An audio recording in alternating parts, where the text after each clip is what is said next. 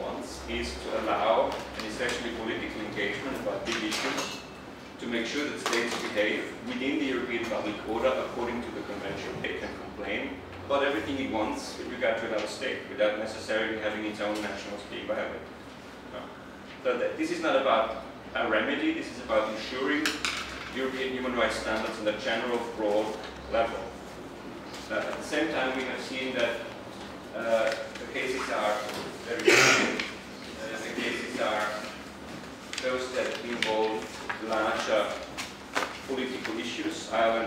The IRA terrorism.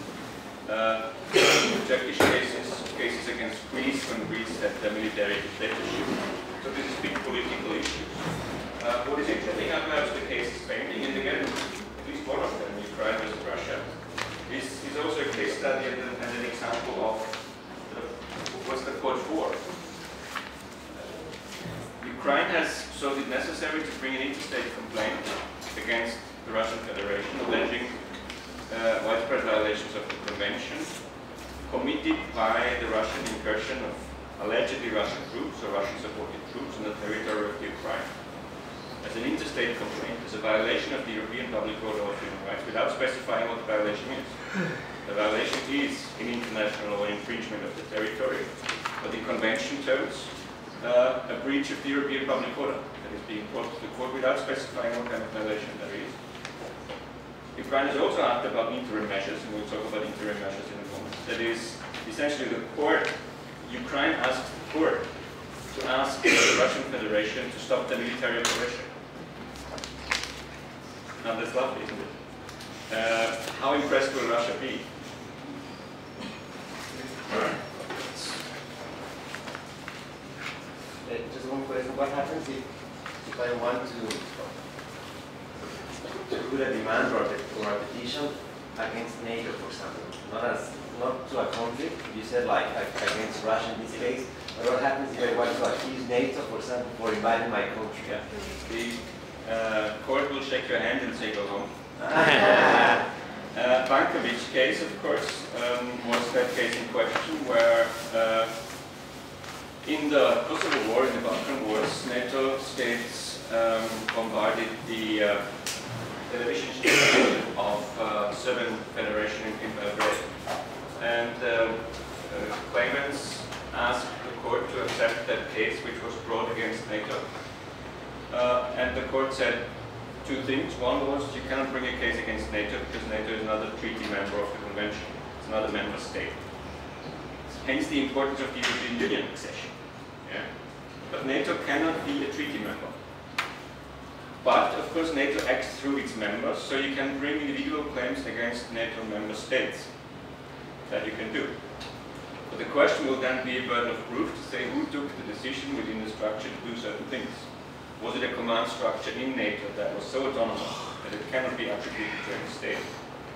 Or was it the decision of a particular state or states so that it can be attributed?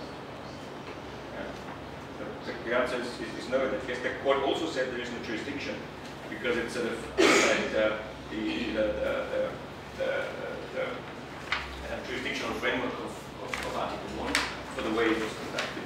But in terms of, uh, of uh, the, claim, it was just will be dismissed in all of these cases. There are other cases um, in, for example, with regard to, to, Bosnia, to Kosovo, on complaints against behavior of UN-mandated peacekeeping which the court similarly had the problem to assign uh, the truth. There was, uh, there was uh, uh a situation where mines were laid in, in Kosovo, and after the war, children played with these mines and, and, and uh, were, were killed and, and, and injured. Uh, and the question is whose duty was it to um, to take these mines and put them away? Was it the duty of KFOR as the institution mandated to uphold security there? Um, which again would mean that it was the Security Council's duty because the Security Council has mandated KFOR to deal with that situation. So was the Security Council that violated, which the court said doesn't work. Or was it individual states in that situation, the court was even more problematic because it was also not really individual states, because there was no proof who it was. So you're in between. You end up with a rather dreadful situation that could be nobody. You have these cases and these problems. Um, Ukraine in Russia has also led to more than 140, 50 individual applications already, with more than 100 interim measures being granted by the, by the court. So the question is, of course, is Ukraine and are Ukrainian applicants on the right track to use the court for that purpose? What does, what does Russia seek, what does Ukraine seek to achieve by an interstate application? If you were the Ukrainian government, would you send an interstate application to the European Court of Human Rights? Yes. Why? Politically talking, I think they're like in the same line. I think they will receive really easy because of the okay. because like I said, politically talking, I think it's easy for them to, to go to the, to European Court. And of course, in this in, in this line, I think it's really easy for the European Court to say something against other side. I mean, Yeah, I, I- I agree with the first part of that, certainly. Um, the argument is, in a way, it, it doesn't do any harm. It doesn't cost much, so you send an application, which is of course not a very strong argument. Um, the other argument is to say that's politics by other means. You're not so much concerned about the violation of the convention, or about the effects, but you want to use all fora that you have available to bring to the attention of the international community that you think as Ukraine, Russia is wrong, Russia is in violation of the law. And you would do that in different formats. You would try to convince the Security Council to say that there is a violation of the territorial integrity of Ukraine. Security Council resolution. You might, as happens the case, as, as happens in this case, alert the Organization for Security and Cooperation in Europe to send observers to deal with it as a matter of security and cooperation, and that's as a breach, as it is, of fundamental norms of the OSCE. Helsinki Charter, Charter of Paris, and other documents which say borders are inviolable in, Europe. Security debate. You use the European Union in a much more difficult way by arguing this is a matter of European integration. We need to discuss it in terms of politics, political union, and economic requirements. Or you add in a fourth layer and say it's also a human rights issue. You know, It's a human rights issue in twofold. It's a violation of the conventions, the foundational value of the continent, which Russia seems to be in breach. The question then is, of course, what do you want the court to say?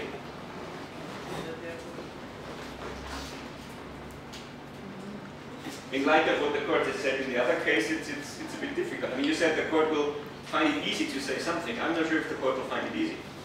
That's a big one.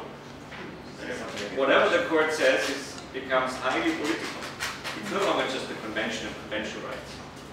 When the court says that, essentially it says Russia is breaching its, its, its, its obligations. It's even more problematic if you, if you look at the situation in Crimea, where you have a full-blown annexation, very different legal statements. So the court is getting involved in the legal discussion way beyond the European Convention. One part. I mean, it's complicated because like I hear like the, the presidents they say something against against Russia in this case. They actually say a lot of things. They are in, that they are invading Ukraine and stuff like that. Also NATO, they say a lot of things about it. And it's complicated to me to understand what they actually say, but the court cannot say something because it's, it's politically complicated. You know what I mean? They actually said it. I don't know what, Yeah, but the court, the deal between it. the court would still have to say whether, for example, there is Russian troops on the territory of Ukraine to find a violation of, of, of the convention by Russia. Would the Human Rights Court be prepared to do this? Would the, would the court have the evidence? Um, would the court be able to go there and see what is going on? Russia would claim no troops in the Ukrainian territory. Ukraine would say all Russian troops. How does the court know the court knows? What is the basis for its decision in that way? Would the court be willing then to go so far as to say the annexation of Crimea was an annexation in violation of international law? To which Russia would say, are we now talking about the European Convention or are we talking about the UN Charter? Make up your mind, court. I talk about the convention, but nothing beyond that. So the court gets entangled in, in serious issues. That is how the convention was built in a way. The court as upholding public order in Europe and making sure that it's in line with democracy, rule of law, and human rights. But if you look at the details of it, how much power does the court have in to provide an effective remedy? Very difficult. And what would the court argue in terms of effective remedy? Russia should withdraw its troops, or any other possible remedies, what would the court do? The same goes in a way for the question of individual application. Would you, as an applicant who is affected by the situation in, in eastern Ukraine, send an application to the European Court? And you can test all the criteria that we have just had. Are you a victim? Not unless you are not affected in one way or the other, which the victims usually are. So that is questions of liberty, security, death, torture, whatever, so the serious, the serious cases. But beyond that, you can't argue that you feel unstable and unsure in eastern, in eastern Ukraine because there is Russian troops. You have to prove, uh, you have to prove that. Uh, exhaustion of domestic remedies.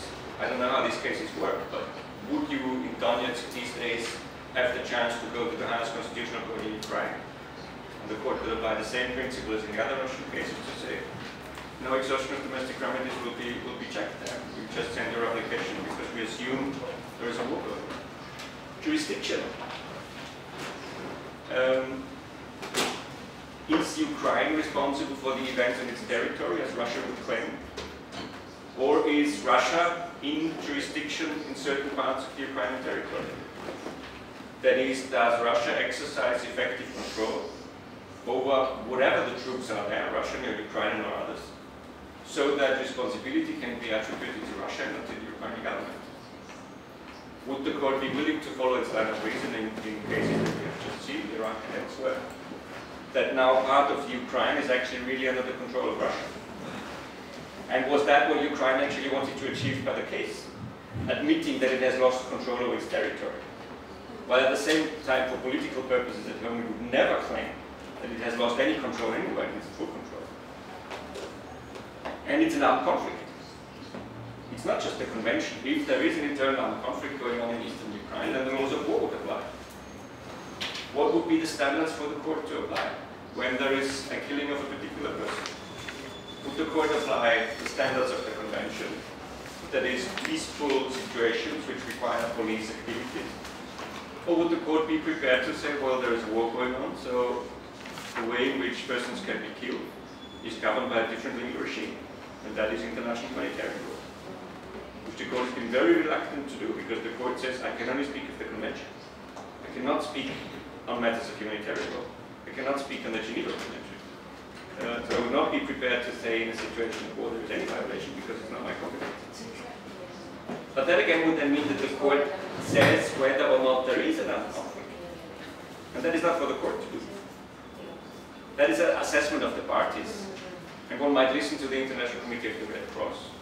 But is the International Human Rights, is, is, is an International Human Rights Court the appropriate body to say there is an international conflict in eastern Ukraine?